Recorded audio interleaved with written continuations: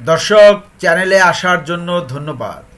যারা এখনও চ্যানেলটি সাবস্ক্রাইব করেন নাই, অনুগ্রহ করে চ্যানেলটি সাবস্ক্রাইব করবেন এবং বেল বাটনে ক্লিক করে সঙ্গেই থাকবেন। আমাদের এই প্রিয় পৃথিবী থেকে যদি কোনো প্রাণী বিলুপ্ত হয়ে যায়, নিশ্চয়ই আমাদের খুবই খারাপ লাগে। তেমনই একটি প্রাণীর কথা এবং তার ভিডিও তুলে ধরার চেষ্টা করব। সঙ্গেই থাকবেন। সেই প্রাণীটির নাম হচ্ছে সোনালি বানর।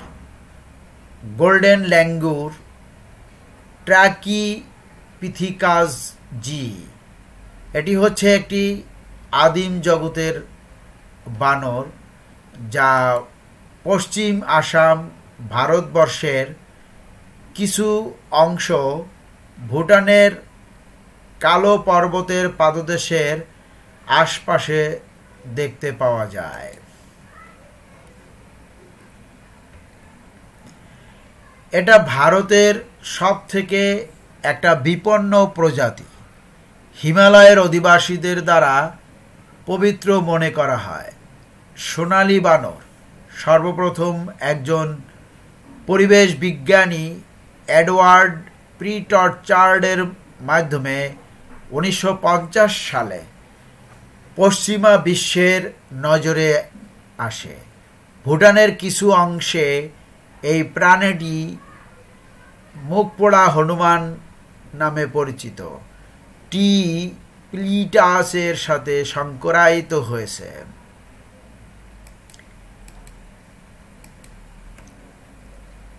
শ্রেণি বিভাজন।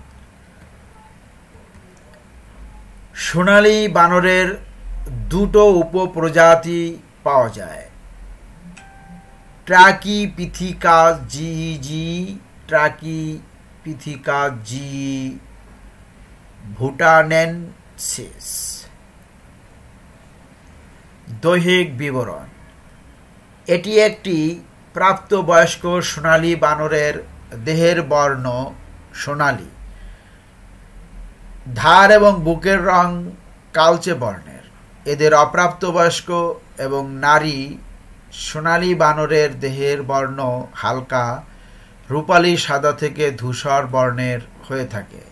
সোনালী বর্ণের বানরের মুখের রং কালো এবং একটি দীর্ঘ লেজ যার দৈর্ঘ্য প্রায় পঞ্চাশ সেন্টিমিটার, অর্থাৎ উনিশ দশমিক ছয় নয় ইঞ্চি পর্যন্ত হয়ে থাকে।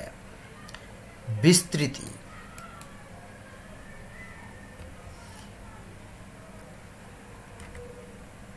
আসামের দ্বীপ থেকে মারা গেল শেষ গোল্ডেন লেঙ্গুর। বিলুপ্ত হয়ে গেল এই প্রজাতি। এই প্রজাতির শেষ প্রাণীটিও বিলুপ্ত হলো আসামের দ্বীপ থেকে। সেটি হলো গোল্ডেন লেঙ্গুর। এটি বাদরের একটি প্রজাতি।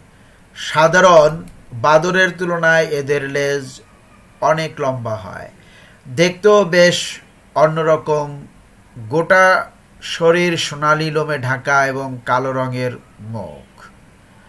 গোটা ভারতবর্ষ জুড়ে এই একটি এই প্রজাতির বাদর বেঁচে ছিল কয়েক বছর আগেও এই লেঙ্গুরের সংখ্যা ছিল প্রায় পাঁচশো এর কাছাকাছি। কিন্তু সংখ্যা কমতে কমতে পাঁচে এসে দাঁড়ায়। দু হাজার এগারো সালে শেষ তিনটি লেঙ্গুরকে আসামের চিড়িয়াখানায় আনা হয়। শেষমেশ এই একটি জীবিত ছিল। পুরো দ্বীপ জুড়ে এই প্রজাতির বাদর বলতে এই একটি ছিল। সে একাই বাস করত। অবশেষে তারও মৃত্যু হলো এই উপানন্দ দ্বীপে। তবে শুধু ভারতবর্ষে নয়, গোটা বিশ্ব জুড়ে এর সংখ্যা অনেক কম। এটির মৃত্যু হওয়ার ফলে গোটা বিশ্ব জুড়ে এই প্রজাতি গভীর সংকট, সংকটে রয়েছে। বাদরের মৃত্যুর কারণ এখনও জানা যায়নি। একা থাকার ফলেই মৃত্যু হয়েছে বাদরের।